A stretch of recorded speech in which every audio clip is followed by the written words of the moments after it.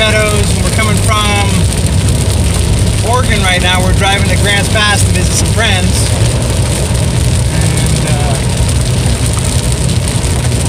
it's interesting because today I was I was thinking about something that's a little different than than usual, and it's about acceptance. And I wrote this book when I was in third grade. It was called The Gigantic Bee, it's about this bee that basically gets excommunicated from his tribe, and then he travels the world in search of a new one. In the very end, he finds it.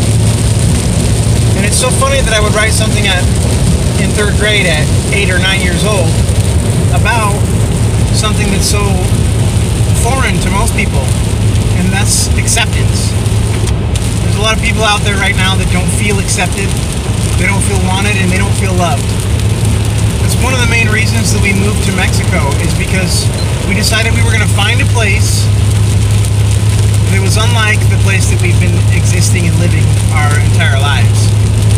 A place where we can harbor a place of acceptance, of love, of understanding.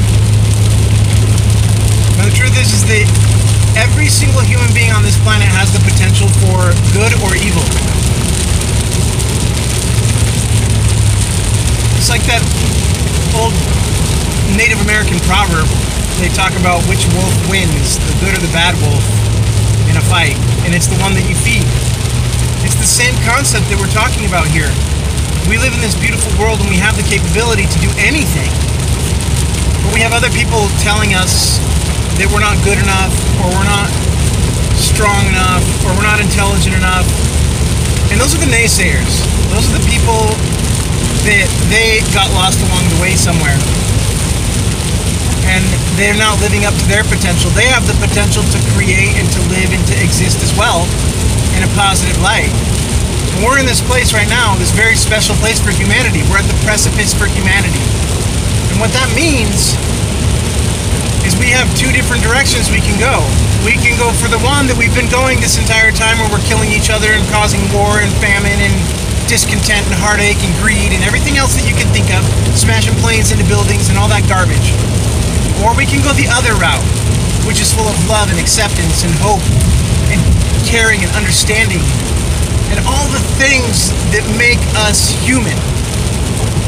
For many years in my life, I've been I've been remiss to call myself a human because I know what humans do and what they are.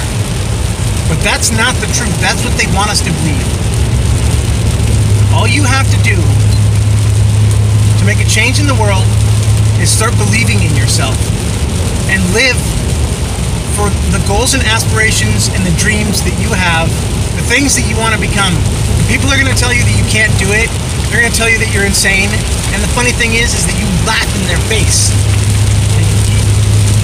You don't have to laugh in their face. You can just go and just not listen to them. You know what's right for you.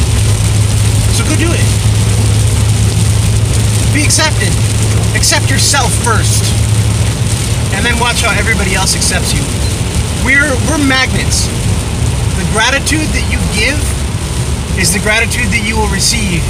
If you live in hate and anguish and pain and discontent, you will live that lifestyle. If you live in where you don't have it, you don't feel like you ever have enough, you'll never have enough. So,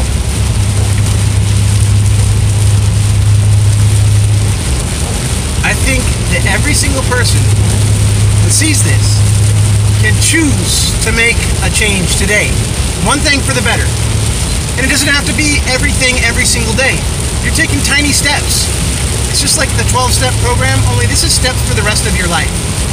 And they will echo for eternity. Not in just your life, but everybody else's. So accept yourself today. Forgive yourself for all the things that have been done to you and that you've done. And these are hard things to do. And we'll talk about those a little bit later, but the biggest one here is that it, start accepting yourself. You are good enough. You are beautiful. You're wonderful. You're magical. Have the courage to follow your dreams. That's all I have to say today. Yeah. You guys are wonderful. Keep being awesome. We'll talk to you soon. Mwah.